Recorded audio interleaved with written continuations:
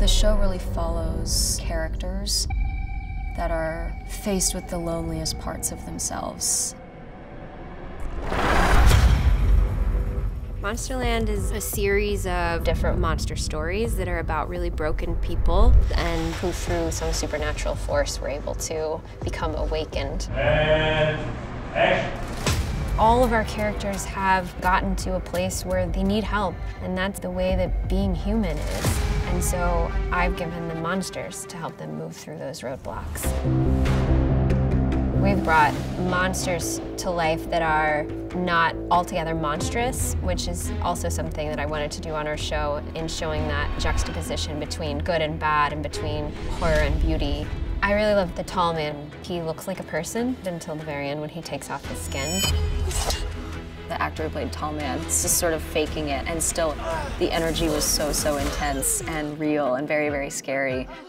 The tall man is a metaphor, a shapeshifter, someone who's able to take off their skin and become a new person.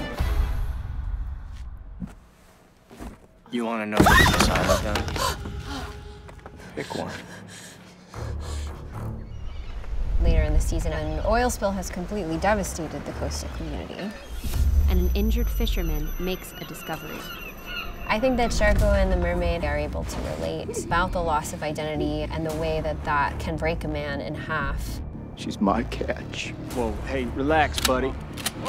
They found kindred spirits in each other because they have both been made to suffer.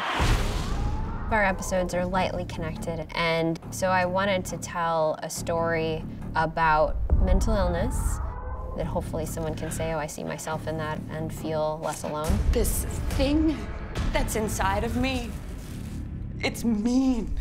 All of our characters make their way through a series of choices that are complicated and rich.